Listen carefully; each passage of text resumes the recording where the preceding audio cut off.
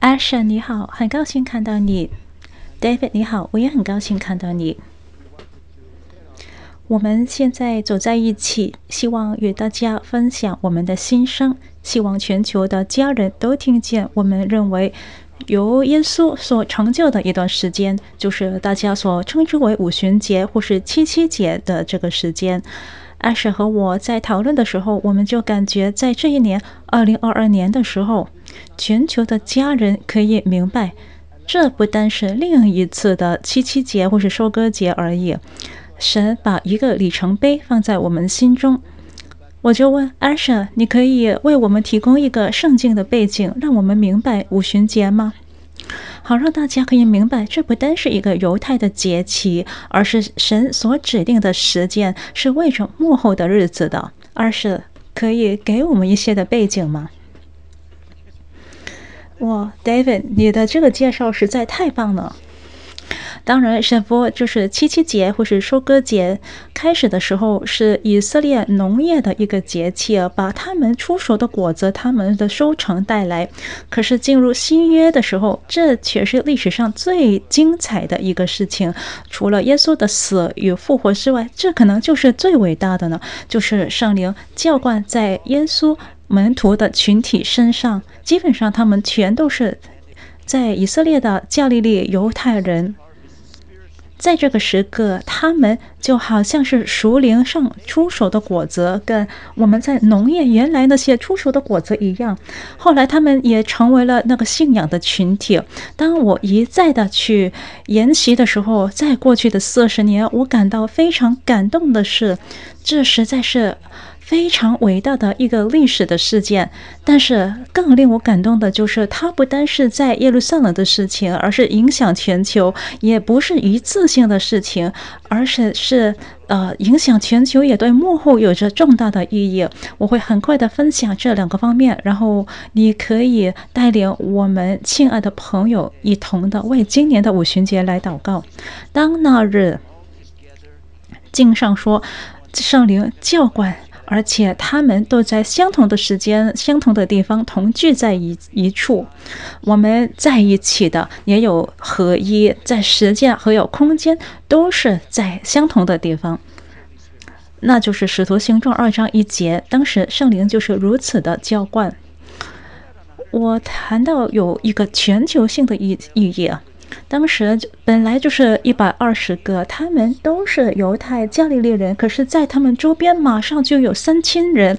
那三千人是从当时的各国而来的，在这个时候呢，就是二十七个国家，我已经数过一遍了。他们代表的就是全世界所有的人，所以在第一次的五旬节十五分钟以后，就已经有一大群的人。他们上耶路撒冷来守节，然后他们就回家，所以马上就有一个全球的延伸，几乎是马上的。起初是一百二十人，后来是三千人，然后马上就去到全世界。当中有阿拉伯人，有犹太人，也有来自世界各地列国当中改信的人，所有。的国家在第一次耶路撒冷的五旬节就已经参与了，从耶路撒冷一直去到地极，所以这就是所谓全球的意义。耶稣也说，我们要把福音传到地极。当彼得起来的时候，他开始解释发生什么事，他就引述了约珥书。他讲了很惊人的话，他说：“这就是那事啊，就是约尔先知所预言的。”我会用希伯来文来念。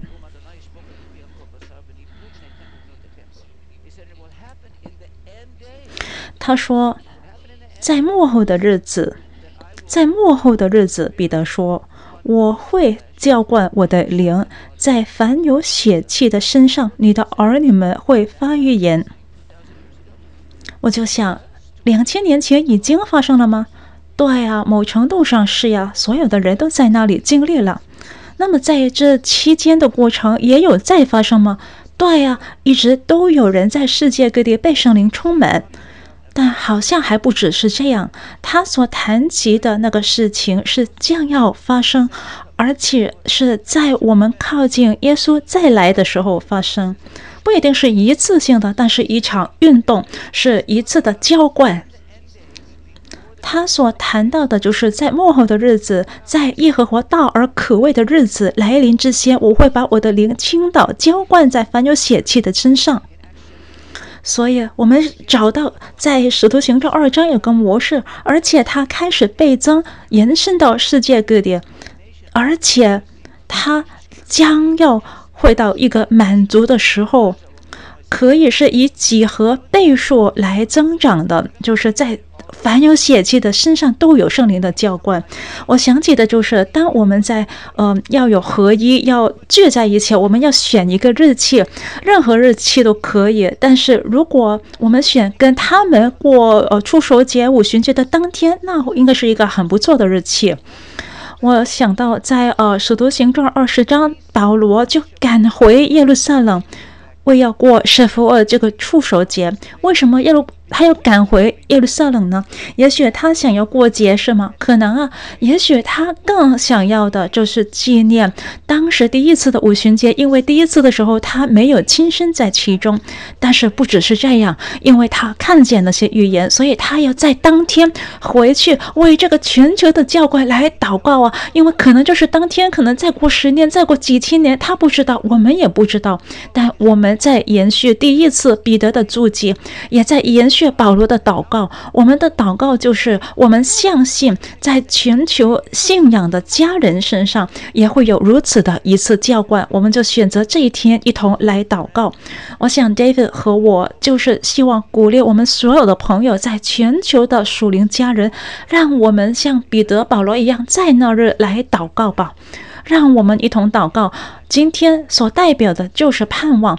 在幕后的日子，如同使徒行传二章十七节所说的：“我会把我的灵浇灌在凡有血气的身上，你的儿女们也要发预言。”哈利路亚！而是太好了，可以听见你的分享，实在是非常的美丽，也提醒了我们。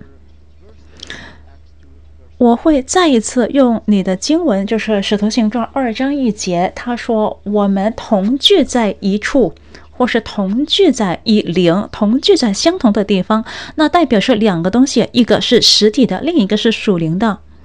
我感觉，阿婶，你所分享就是在幕后的日子，我会把我的灵教官凡有血气的。我感觉好像现在有一份的加速，没有任何人可以忽略我们所活的此时此刻。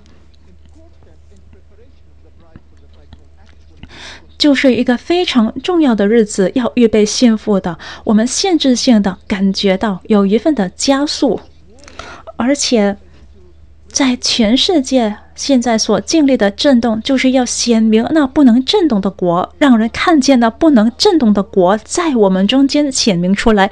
如何发生呢？就是借着圣灵新的浇灌，带着火，带着勇气、胆量。我相信神一直预备我们，在过去的两年，我们一直对齐我们全球的家人，作为外邦人，我们一直对齐神的实践表。而五旬节，我们已经过了两次，今年我们也会再做一次，但是我们不会一起在一个 Zoom call 上面过五旬节。我们希望鼓励每一家人。如果你住在比较偏远的地方，就是在你自己的家庭吧，或是在你的教会，在你的事工，或是你的城市，召集人来，让同心的人一同前来祈求这个预言的成就。其实彼得说，嗯，就是当人去问他是什么事啊，他说就是约尔先知所预言的。就是好像约尔先知所预言的，是他预言的开始，并不是圆满。我相信在这段的日子，在今年会有另一个层次，明年又有一个层次，而且这一切是荣上加荣的。我想要鼓励我们全球的家人，实体的聚集在一起，不只是在 Zoom 上，而是真实的聚集。我们全球的家人不会有 Zoom 的线上聚集，可是。我们希望在当天，让你召集你的家人开始祷告，一同守圣餐，让主知道我们献上我们自己，我们祈求圣灵的浇灌，因为这不只是一个鼓励而已，其实我们可以感受到圣灵在我们心中的那个重量、分量，要告诉每一个人，这就是时候，这就是预言与应许成就的时候了。我们希望对你说，我们会非常的想念你们。我自己在那个时候，其实会在韩国与韩国家人在一起过五旬节。可是不要让那天溜走，那是六月的四号到五号，请跟你自己的家人、你的妻子、你的孩子，或是你的教会，或是你的事工，或是任何的群体聚在一起，彼此同心合意，在合一当中对主说：“主啊，我们希望有再一个圣灵的释放。”David，我想要。鼓励每一个在听在看的人，在《使徒行传》第五章，他说：“呃，在呃《使徒行传》里面说，有犹太人，有阿拉伯人，也有来自各国那些改信的人。所以，不管你在哪里，你在过去的那段经文当中，也在现在，也在将来，就是好像《使徒行传》为我们投射在将来的盼望，我们正踏进那个。”非常精彩的预言成就的时间，实在让我非常兴奋。所以，我们都是同聚在一处的。是的，阿神，我实在呃觉得很棒啊！有你作为犹太人，也有我作为埃及人，可以在这几分钟跟大家分享，我们是主将要倍增与成就在世界各地的一个代表。非常爱你们，也非常期待看见你们。再见。